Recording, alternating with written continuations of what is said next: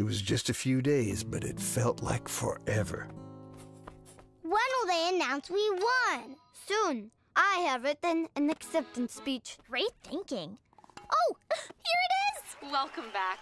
I know you're super excited to hear the winner of our song contest. So am I. Well, they're here in the studio, ready to play with Catgo and the Nine Lives. But, but, how could the winner be there? when we're here.